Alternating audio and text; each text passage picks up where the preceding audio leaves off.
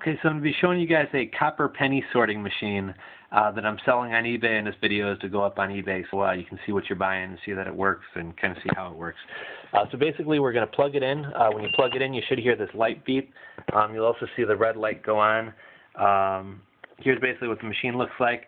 1980 uh, or pennies that are uh, pre 1982 are going to get rejected, or I guess not rejected, but accepted and kicked to the left. Post 1982 pennies, so 1983 and up, are going to all get kicked to the right here. Um, basically, what you're going to do, you're going to go to the bank, buy a $25 box of pennies or as many as you want to go through. Um, here's a bag of ones that I've already sorted. Um, but basically, uh, we got a bunch of pennies here. I just busted open a roll. Um, so we'll take a look here. And basically, the other thing, uh, you can put cups or whatever you want under here to catch them. Uh, what I think actually works nice, if you got some of the uh, boxes from Brinks or Wells Fargo or whoever, uh, slide one under the left, one under the right to catch them, and that way they're kind of caught and stored all at once. But uh, anything old should get kicked to the uh, left, anything new should get kicked to the right. So, uh, so you can see here, sorry it's hard to hold the camera and get the uh, pennies dropping through, but left, right, left, right.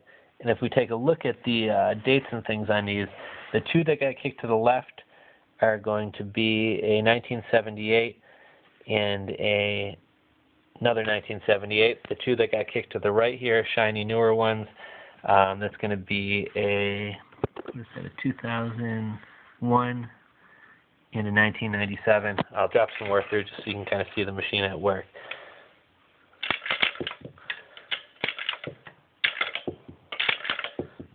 Uh, keep going here.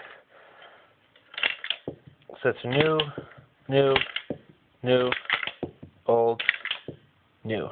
Um, and like you see, I'm holding the camera here and doing it, but you can actually go pretty quick. Uh, you could probably figure out a way how to put like an auto hopper, or if nothing else, put a ramp on there. Uh, but I'll show you. You know, you can actually feed it, even hand feeding. you can feed them pretty quick. This is just a loose handful of. Uh, oh, oh, the other thing that's nice, if you get a clog, just hit that; it'll clear the clog. But uh, you can see how you can kind of, if you busted open a roll and kind of palmed it and let them roll in there, you can see how you can feed them pretty quick. But if you want to do it even quicker, like I said, you could fit, figure out some kind of ramp or put an auto hopper on there. I actually used uh, some Hot Wheel um, tracks to form a ramp um, when I was doing this kind of more heavily. Um, but you know, if you're not ready to make the five or eight hundred dollar investment in a Ryedale machine, uh, this is a good alternative. It's very accurate. I would say over 99% accurate. Um, I'm not making any guarantees because you do. Uh, there are some settings here where you can tweak the you know the accuracy of it and things like that.